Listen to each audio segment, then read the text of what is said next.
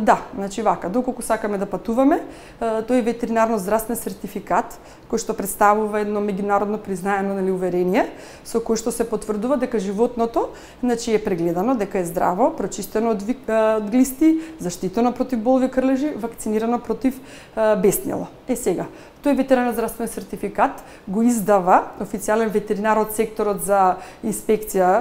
нашата држава и треба да се нагласи дека тој здравствен ветеринарно здравствен сертификат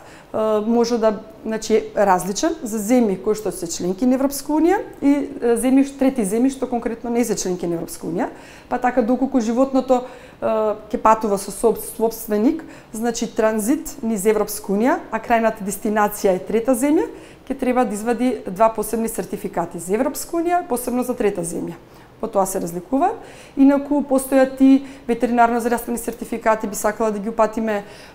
собствениците дека има се, сертификат здравствен за некомерцијално движење, што представува тоа, кога конкретно еве сега за време на летните одмори е,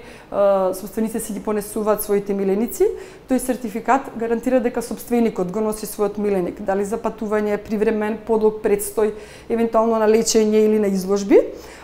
при што собственикот нема да го продава својот миленик и постојат ветеринарно здравствени сертификати за комерцијално движење, што значи дека лицето го пренесува до границата земјана дестинација, од каде што другото лице кое што го купува миленикот ќе го преземе и неговата одговорност ја сносува тој.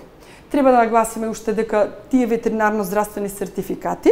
а, значи а, може собственикот слободно да се врати со истиот сертификат доколку не помине валидноста на вакцинацијата против бесмило од една година. Што значи, доколку остане подолго време во земјата на дестинација, а помине валидноста на вакцината, ќе мора да се изврши повторно вакцинација во таа земја и да се изврши и да се извади нов ветеринарно здравствен сертификат за да може да влезе во соседната држава.